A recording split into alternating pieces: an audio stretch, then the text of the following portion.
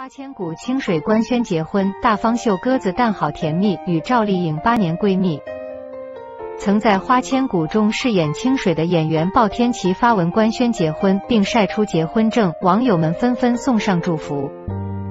鲍天琪与丈夫在海边甜蜜牵手，无名指上似鸽子蛋般大的钻戒格外吸睛，看上去都快比手指粗了，相当奢华。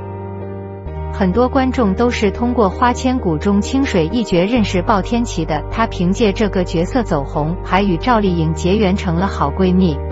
一晃八年过去了，两人的感情还是一如既往的好。她每年都会准时为赵丽颖庆生。